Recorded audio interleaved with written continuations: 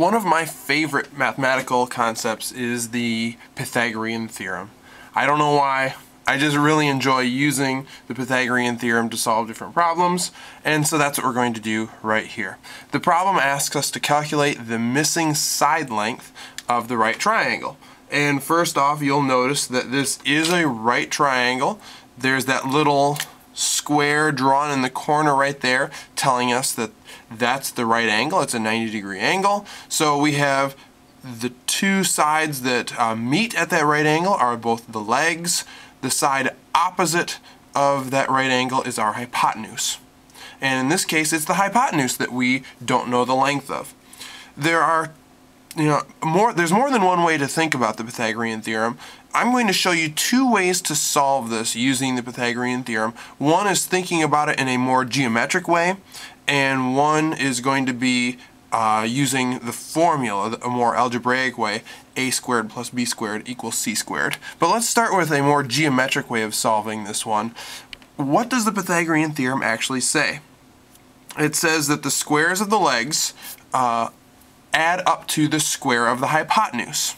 So let's do that. Let's take this leg and draw a square that has this leg of the triangle as one of the side lengths of the square. Let's draw another square with this leg as being the side length. So I have the square drawn of this leg, the square drawn based on this leg, and now let's draw the square of the hypotenuse. And I can connect it like that. So now I have squares drawn on all three sides of this right triangle. And the Pythagorean theorem says that this, the area of this square plus the area of this square must add up to the square of the hypotenuse. So what are the areas of these squares? Well, if this side length is 3, this side length must also be 3. So the area of this square, length times width, or in a square it's length times length because they're always the same, but 3 times 3 gives this square an area of 9. How about the area of this square? Well, if the side length here is 4, the side length there must also be 4, so the area of this square is 4 times 4, which is 16. The Pythagorean theorem now says that the area of this square plus the area of this square must equal the area of this square. So, 16 plus 9 equals 25. 16 plus 9 equals 25. So we know the area of this square is 25, but we're not done yet. That's not where we'll stop. We don't want to know the area of this square, we want to know the side length of the square. So to get the side length of the square, anytime you know the area of a square, to get the side length, you simply take the square root of that area, and that's going to be the side length. And in some cases, the square root of that number, in many cases, the square root of a number ends up being a decimal that goes on forever and ever. So it's often best to just leave it with the square root symbol. There are some nice numbers though, where you take the square root and you get a nice exact whole number, and if so, you should write that whole number, and this is one of those numbers. The square root of 25 is just simply 5. So in a right triangle, if the lengths of the legs are 3 and 4, the length of the hypotenuse must be 5. I said that there was another way of doing it. Almost everybody remembers from middle or high school the Pythagorean theorem is a squared plus b squared equals c squared. So we can think of it more algebraically. We can forget about drawing squares and finding areas and things like that if you don't want to. You can just use this formula and just plug numbers straight into that thing if you would like. A and B are the lengths of legs. C is the length of the hypotenuse. So the lengths of the legs are 3 and 4. So I'm going to put 3 in for A. I will put 4 in for B. We don't know C yet. 3 squared plus 4 squared equals c squared. I just put the lengths of the legs in for a and b. Let's do those. What is 3 squared? That is 9.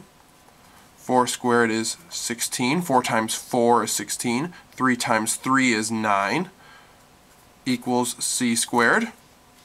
What's 9 plus 16? Well, that's equal to 25 equals c squared.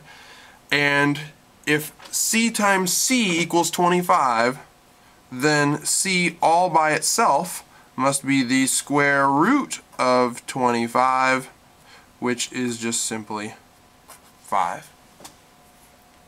So c must equal 5, which is exactly the same answer that we got up here when we were trying to solve it using the more geometric way. The algebraic way, just plugging numbers into that formula, gave us the same answer. Some people much prefer just plugging numbers into the formula. Other people feel a little more comfortable with the geometric representation. They like seeing the pictures, finding the area, adding those areas up. It kind of leads them to the solution a little easier, and people get a little bit lost sometimes plugging numbers into the formula, at least when they're starting. Eventually you'll get to the point where maybe where you get tired of drawing the squares and triangles and adding areas and stuff, and you might want to just plug numbers right into the formula and be done with it. I'd like to show you one more. It's going to be a little different than this one. In this one, the hypotenuse length was missing. In the next problem here, we know the hypotenuse length is 7. It's opposite this right angle. This leg has a length of 5. It's this other leg that is missing. That's what we are going to try to solve for. So we're going to go through the same process. I'm going to do this the geometric way to start out. Let's draw a square based on that leg. Square based on that leg. That's kind of an ugly square. It looks like more like a rectangle, but it'll work well enough for our purposes. Let me draw a square based on the hypotenuse. And now let's start finding some of these areas. If the length of this square, the side length is 5, the side length here must also be 5, meaning the area of this would be 5 times 5 is 25. Well, the side length here of this leg is unknown, so we don't know the area yet. The side length of this square is 7, so all of the side lengths of that square must be 7. The area of this square must be 7 times 7 is 49. A common error that people often make is they just will go right into the Pythagorean theorem saying this square plus this square equals this square. But remember, it's the square of the legs added together equals the hypotenuse square. So really what we want to do here is 25 plus what equals 49. 25 plus what equals 49? The area of this square plus this unknown area of this square equals 49. Well, what does this square have to be? The area of this square has to be, there's only one possible number this could be, it has to be 24. 25 plus 24 equals 49. So the area here must be 24. If the area is 24, what's the side length? The side length is just simply the square root of that area, the square root of 24. And is 24 one of those numbers where you can take the square root and get a nice uh, whole number from that? It is not. It's a decimal that repeats forever. So I'm just going to leave my answer right here as the square root of 24. You could use your calculator if you want and you could get a decimal approximation uh, and that would be fine it would be a little bit less than 5. Um, but I'm going to leave it as the square root of 24 because that is our exact answer. That's the exact value. So the missing length here must have exactly the square root of 24. So be careful. Make sure you identify what side of the triangle is missing. Here it was a leg that's missing. In my first example, it was the length of the hypotenuse that was missing.